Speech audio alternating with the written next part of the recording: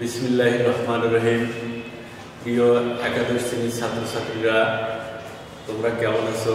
আশা করি তোমরা সকলেই ভালো আছো। আমিও ভালো আছি তোমাদের দোয়ায়। যাই হোক, তোমাদের গত লেকচারে কাজ শক্তি ও ক্ষমতা চ্যাপ্টার শুরু করেছিলাম।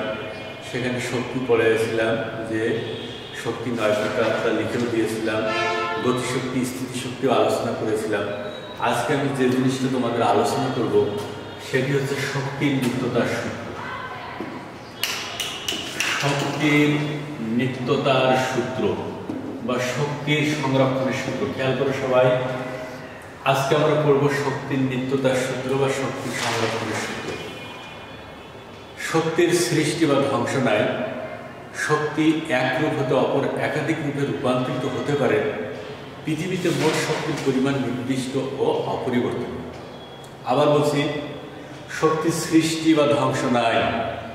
শক্তি এক রূপ হতে অপর একাধিক রূপে রূপান্তরিত হতে পারে। পৃথিবীতে মোট শক্তির পরিমাণ নির্দিষ্ট ও অপরিবর্তন। পৃথিবী প্রত্যেকটা সিস্টেম অর্থাৎ আমরা যে চলাফেরা করি, সেই চলাফেরা করার মাঝেও শক্তির নিত্যতার সূত্র প্রযোজ্য। কোনো একটা সিস্টেমে শক্তির নিত্যতার সূত্র প্রমাণ করব, অর্থাৎ যে কোনো অবস্থায় তার গতিশক্তি এবং স্থিতিশক্তির সমষ্টি ধ্রুব মনে করো কোনো একটা বস্তুর গতিশক্তি ইকে সমান হাফ এম ভিএস লক্ষ্য করো সবাই, কোনো একটা বস্তুর গতিশক্তি ইকে সমান হাফ এম ভি এবং ওই বস্তুটার কোনো এক সিস্টেমে বিভব শক্তি এম জি এইচ খেয়াল কোনো একটা বস্তুর গতিশক্তি হাফ এম ভি স্কোয়ার এবং ওই বস্তুটার বিভব শক্তি হচ্ছে এম জি এইচ এক্ষেত্রে মোট শক্তি ই সমান কি হবে?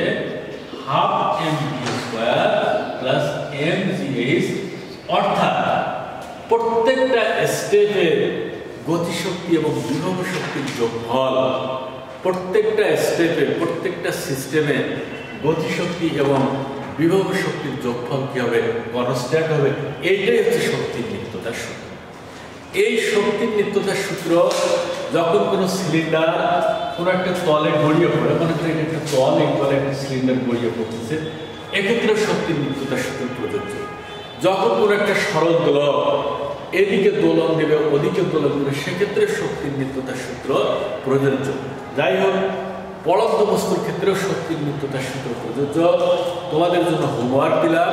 তোমরা পড়ন্ত বস্তুর জন্য শক্তির নিত্যতার সূত্র সবাই প্রতিপাদন করবে। আগামী দিন আমি তোমাদের শক্তির যে অন্যান্য দুই তিনটা প্রতিপাদন আছে, সেই প্রতিপাদন দুই তিনটা করে দেবো। আজকে এ পর্যন্তই। সবাই ভালো থাকো। মুখে মাস্ক পরে বাইরে গেলে মুখে মাস্ক পরে যাবে এবং অবশ্যই হ্যান্ড স্যানিটাইজার ব্যবহার করবে। এবং নিজে সুস্থ থাকো সবাইকে সুস্থ থাকতে সাহায্য করো। খোদা হাফিজ।